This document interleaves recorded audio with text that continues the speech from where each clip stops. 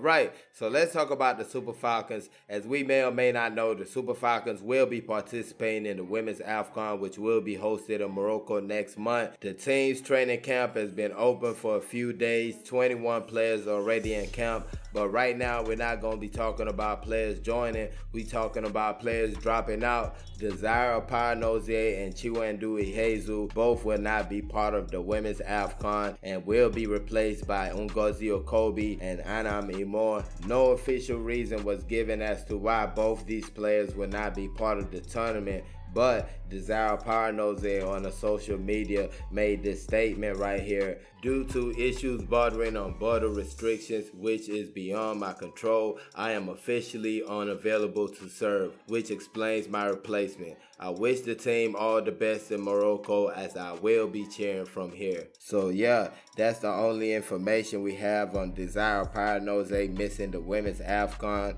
A big miss for the Super Falcons. A top, top player. I mean, you can just go back to the women's AFCON, which was hosted in Cameroon, and how she just handled her business, took us all the way to the trophy. The beautiful free kick against South Africa and the power driver against Cameroon that just put everybody to sleep in that stadium. Over 60,000 spectators.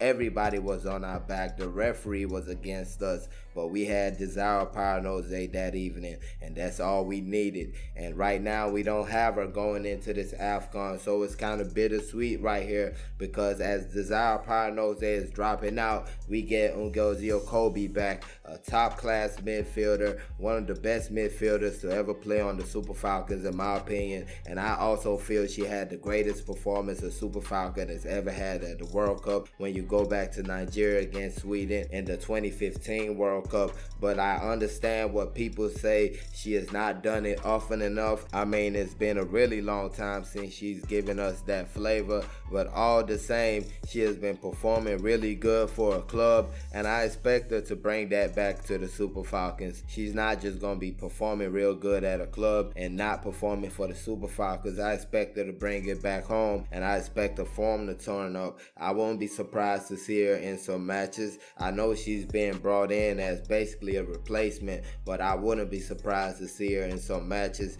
This is a top class player. If she can get it all together, I mean, it's all the better for the Super Falcons. So we should be hoping for that. And Anam Imo, she was part of the under 20s, the same set as Rashida Ajibade. She's played for the Super Falcons, been a bit part player at most instances, but now she gets a chance back into the team. If if I'm not mistaken, her name was on the original list. So I'm not too sure how they bring her back into the team. I thought she was already on the team. I might be mistaken about that. But all the same, Anam Imo and Ngozi Okobi replaced Desire Oparanozie and Chinwendu Ihezuo. A midfielder and a striker come in for two strikers. And let's see how it goes from there. And last but not least, the NFF just announced today that the Super Falcons will be playing in a friendly match against Japan Thursday, the 6th of October this year. It will be played in Kobe, Japan a big time match for the Super Falcons. You're talking about the 2011 World Cup champions in Japan.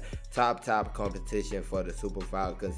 Definitely what they need. If what we expect is that they go out and they show out at the world level. And yeah, the Super Falcons to play Japan October the 6th. That will be after the women's AFCON. So hopefully we go into that as the champions of the continent. But definitely a great move by the NFF. A super friendly setup for the Super Falcons. And yeah, can't wait for that one. Please don't forget to like and subscribe.